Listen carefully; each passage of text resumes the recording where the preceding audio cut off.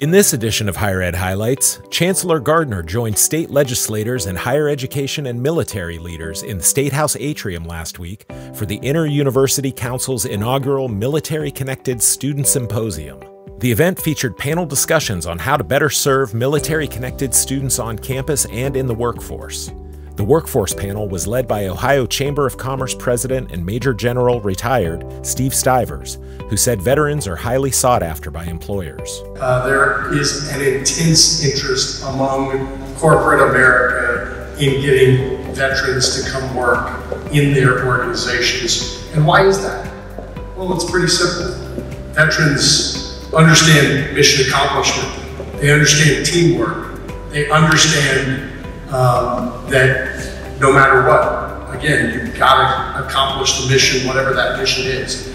Chancellor Gardner reinforced that message during his closing remarks at the symposium, saying military connected students are an asset to Ohio.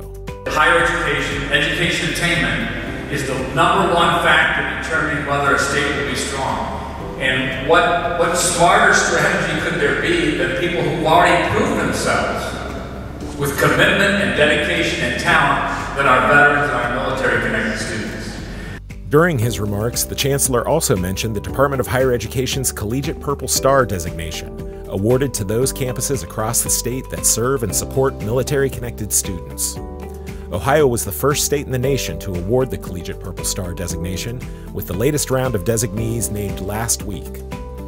Five schools receiving the most recent designation Central Ohio Technical College, Cincinnati State Technical and Community College, North Central State College, Neomed, and the University of Northwestern Ohio bring the overall total to 51, with another round scheduled for the spring. Look for higher ed highlights on the Ohio Department of Higher Education's YouTube page and through our Facebook page and Twitter feed, and check out our website at highered.ohio.gov. Thank you for watching and come back next week for another round of Higher Ed Highlights.